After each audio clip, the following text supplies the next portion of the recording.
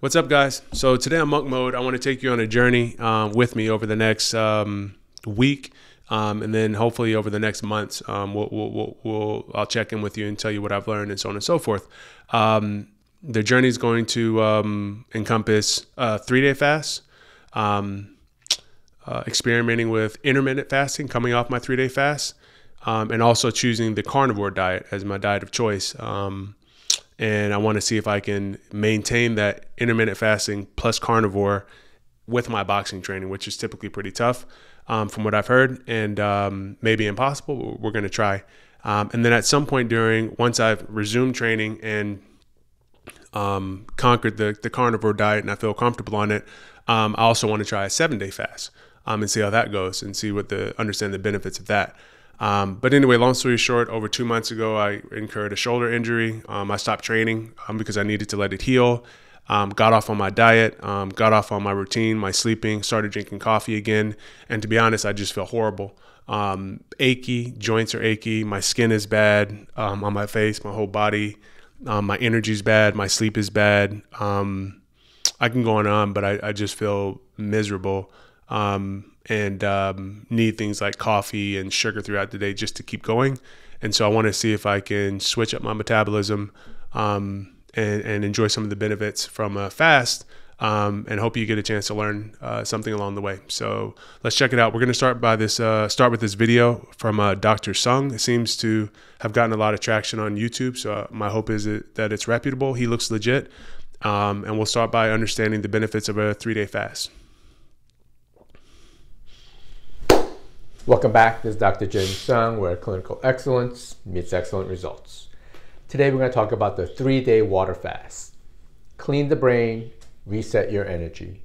Let's get into some of the benefits and what happens during the three days. Let's get right into it. Benefits. Improves immune function, repairs damage to cells, removes dysfunctional cells and pathogens, reduces neural inflammation, or basically things like prime glial cells, increase autophagy, breaks down cells and other pathogens in our system, decreases autoimmune disease, benefits gut flora or resets the gut flora, and increases DNA repair. Okay, so there's a lot of benefits to a three day fast. All right. Right away, I don't know what a lot of these words mean, um, but some of it is uh, some of some of the words are things I've heard. I have heard that th- fasting for three days can help you um, improve your uh, your your body's response to insulin. Um, I have not heard that it can repair DNA. I have heard that it can help with autoimmune diseases. Um, and I've heard that it's a great way, um, and maybe that's what he's talking about, to get your body to go through and essentially eat dead cells. Um, that could that could potentially be um, cancerous um, because your body needs energy. And uh, someone told me that if you fast after about two days, I think it is, your body starts searching for dead cells that once again could turn into cancer cells and it eats those for energy, which is a great way to minimize your risk of cancer. I don't know if that's true, but maybe he'll talk about that. We'll see.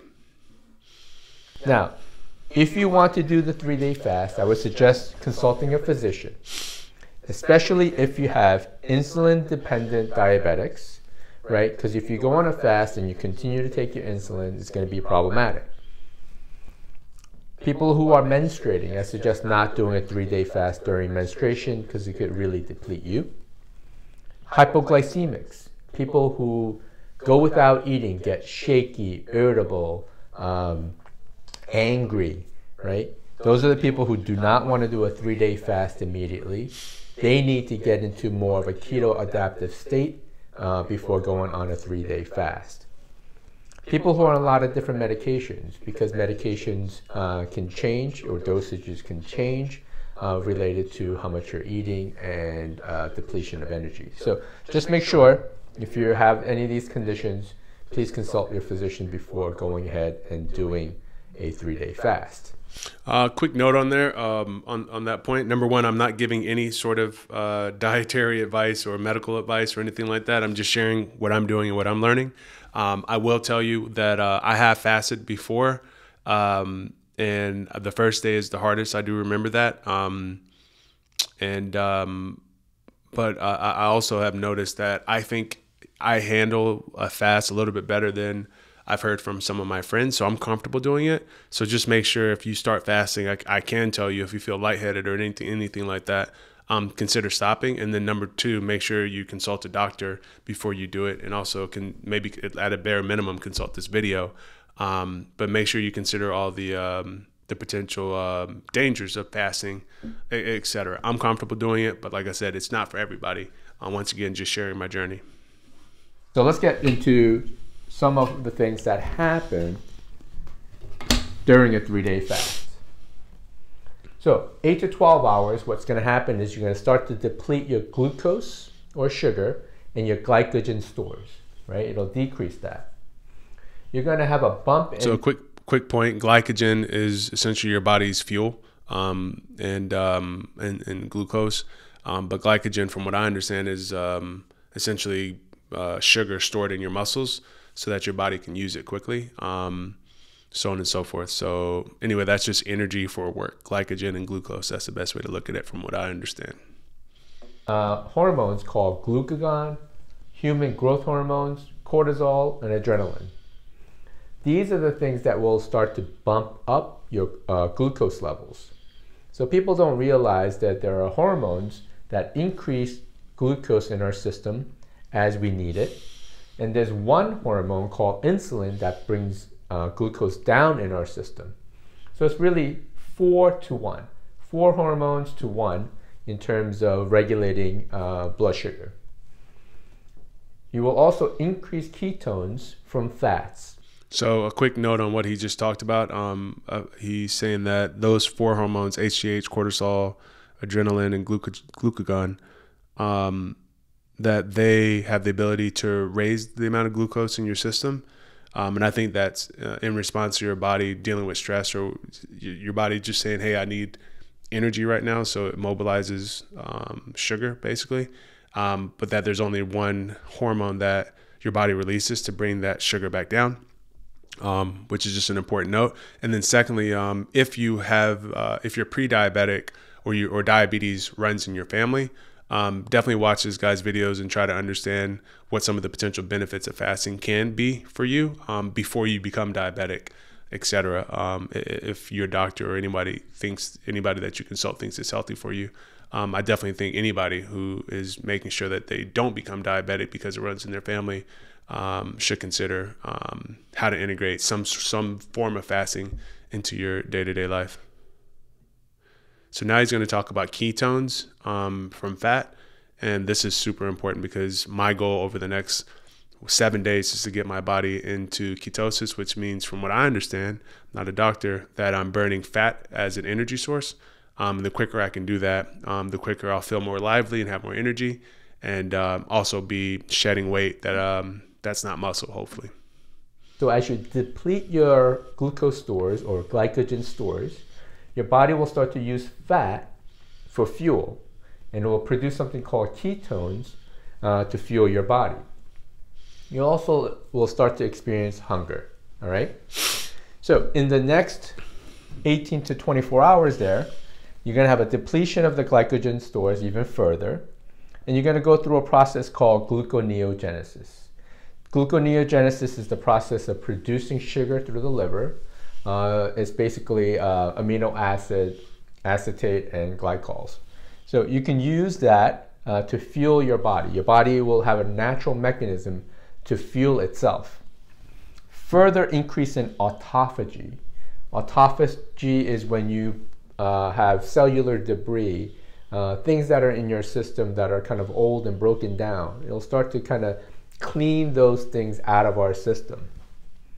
It will also start to decrease autoimmunity because a lot of autoimmune conditions are related to food proteins. So if you have things that you're eating and causing inflammatory responses, the fact that you're on a fast will start to decrease that autoimmune process. It'll decrease neural inflammation. So when your body is used to using glucose, especially in the brain, uh, it can cause some inflammatory process, processes. When you switch your fuel from glucose to ketones, your brain will start to become a hybrid.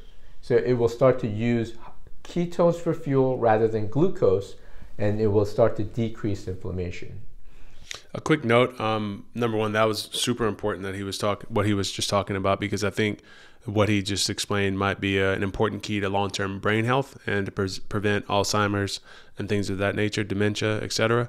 Um, but before that, he talked about autoimmunity, and I think just in case um, for those of you who may be new to the term, um, uh, I'm gonna give you go give you a, a I'm gonna give you a, a lesson on autoimmunity because I'm not a doctor, but what he is essentially saying is that sometimes foods that you eat your body can have an immune response to foods, pro- certain proteins and foods that you eat, which is essentially an allergic response. Um, and you may not even notice it, or maybe you've gotten used to it. It could be discomfort, bloating, um, all types of things that you notice, but you don't realize that your body is actually activating an immune response. The same way you try to fight a cold, it's fighting against the things that you put in your body, and that can create excess inflammation and a lot of problems, um, which I won't get into.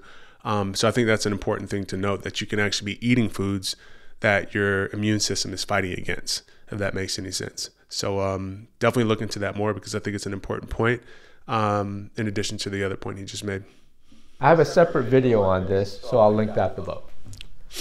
It will also increase hormones called brain-derived neurotrophic factors and human growth hormones. And you'll start to see ketones in your blood. So what you can do is you can buy a little um, ketone meter. Uh, you just cut, it's like a, a, glucose test. You just prick your finger and you can check your level of ketones. And in the first 18 to 24 hours, you're going to see 0.5 to maybe 1 in terms of the ketone levels. Now, everyone's different in terms of how fast they can go into ketosis. If, if you're someone who's very experienced and you do intermittent fasting and you're on a ketogenic diet, you're going to get into ketosis a little bit quicker. Day two, you're going to continue to increase brain derived neurotrophic factors as well as growth hormones. You're going to increase autophagy, and this is where the real cleanup starts to occur in day two. You'll start to break down tau proteins and uh, amyloids, Lewy body, alpha synucleins, and prime glial cells, all in the brain. These are all related to things like post traumatic stress, uh, concussions, uh, Parkinson's, Alzheimer's, Lewy body dementia. So it starts to break down these uh, aggregates in our brain and, and it, it clears it out. There's a process called mitophagy. It'll start to uh, get rid of inefficient mitochondria in our, in our cells.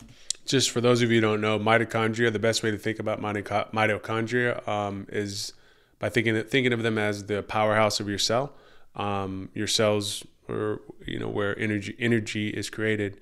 Um, and your mitochondria are essentially the things that um, take whatever it needs from your body to create the energy that you need when you do day-to-day task or exercise or whatever.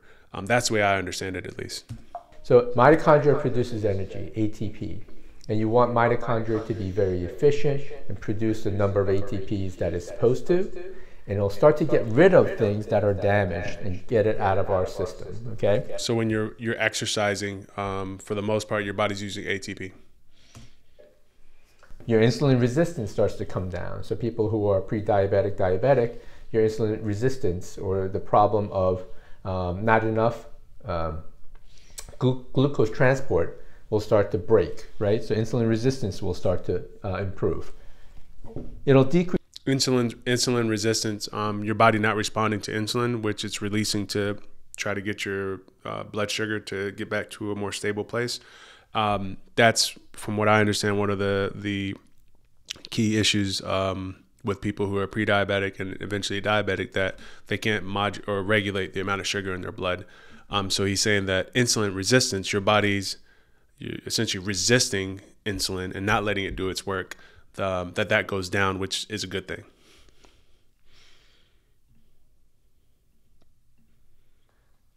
It'll decrease fatty liver.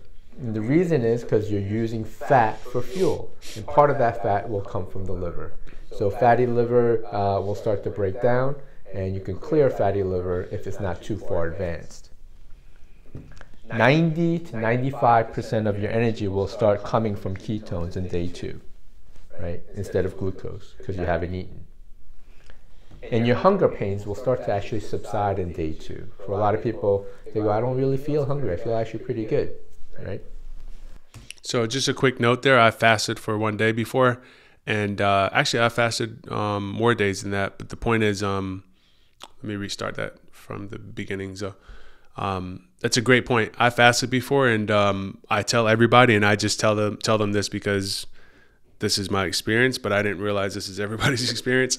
Um, I assumed it was, but he said that on day two, um, your hunger starts to decrease. And so, what I, I always tell everybody, and if anyone who's watching this video, trust me, if you can get through the first day, you can get through the second day. If you can get to the second through the second day, you can definitely get through the third day.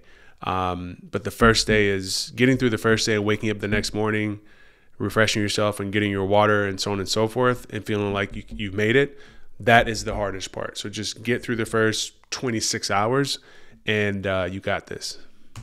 Day three, continued autophagy and clearance, reversal of real chronic disease. So people who have um, chronic autoimmune disease, chronic fatigue, a lot of issues with um, uh, joint pain, those types of things, will start to clear to a certain extent.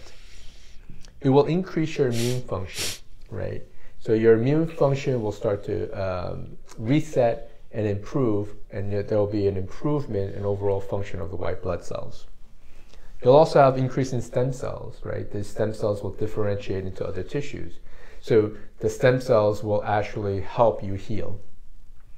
Now, the goal of this three-day fast is what we call metabolic flexibility or metabolic switch. The ability for your body to use both glucose and ketones whenever it wants. So if you are someone uh, who eats every day, three, four, five, six, seven, eight times a day, what happens is you're using insulin mostly, right? Because you never let the sugar drop, right? So you get this wild fluctuation. So you have spike in sugar, spike in insulin, drop in sugar, drop in insulin. So you get this wild swing. The purpose of a three-day fast or any type of fasting is to even out the blood sugar throughout the day.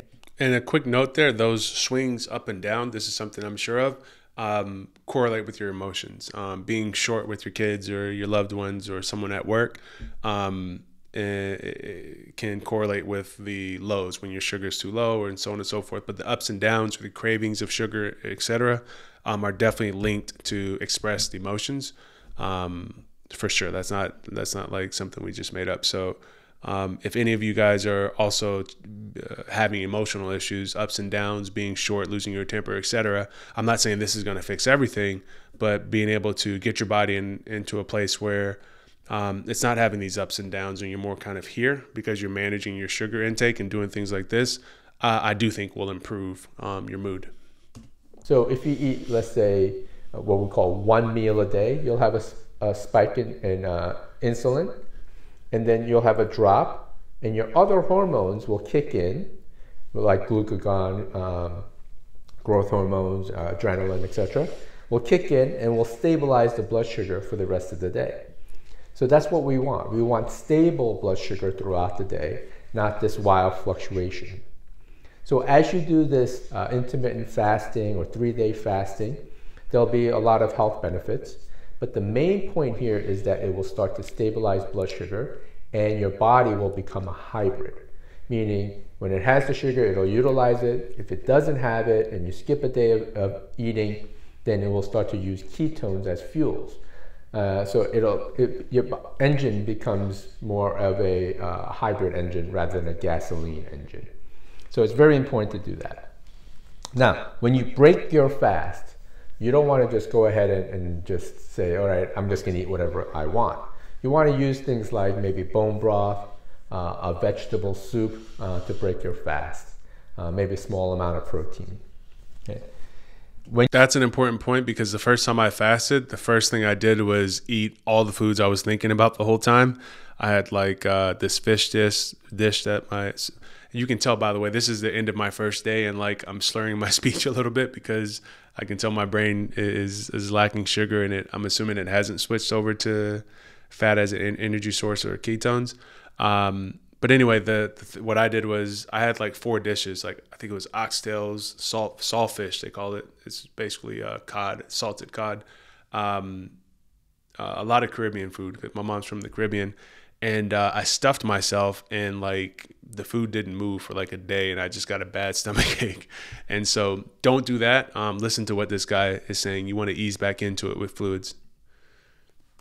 When you're doing the fast, you can use distilled water if you like, or you know, purified water would be best. You can use minerals and sea salt, especially on day two, maybe uh, 24 to 48 hours. You want to start to use a little bit of minerals because you might feel a little bit depleted. So you can use minerals or sea salt uh, in your water, and you can drink it. And then uh, you can also use sparkling sparkling water, but not flavored water, because what can happen with flavored water, you can start to uh, increase hunger pain, uh, pains in your system. Now, for those people who can't get through a three-day fast, I'm going to show you a method of doing a, a three-day uh, modified fast on our next video. So we'll talk about how to do it without doing strictly water uh, for the three days. All right. So these are all the benefits. This is what happens I have multiple videos on intermittent fasting, so I'll link those below. And what you want to do is if you ever go through it, uh, comment below. Let me know how you felt during the three day fast and what the benefits of the three day fast were for you. Now, when you do a three day fast, uh, there's wide benefits. However, you have to be careful about some of those conditions that I talked about in the beginning of the video um, and you want to consult, uh, consult a physician before doing it. All right. My name is Dr. Jin Sung, where clinical excellence meets excellent results, and we'll see you guys next week on the healthy side. Have an awesome day. So, in closing, like he said, make sure um, you, uh, if you're not ready for the three day fast, or you, or you don't feel you are, or you're nervous, um, I, I'd actually, I think I suggest anybody who's fasting for their first time. This is solely based on my experience um, to consider um, uh, just a one starting with one day, right? Um, or starting with a few days of intermittent fasting, picking an eating window that you think um, can fit your lifestyle for a few days, then try one day, um, and start there and see how you re- respond, and make sure you consult a doctor um, or, or, someone you trust that that's a physician. Um, of some sort um, before you do it, because once again, it's not for everybody. But uh, if you are healthy enough to uh, fast, etc., I think it's a great uh, it's a great tool. So start small um, and go from there. So that's um, a quick video um, and a quick explanation of the benefits of fasting. Um, tomorrow, um, if I'm not too brain dead, uh, I'm going to run through a video that can explain to you exactly how to go about your fast, um, what to consider, what you should uh, be drinking, what you shouldn't be drinking, so on and so forth. and then we'll get into the carnivore diet and a few other things.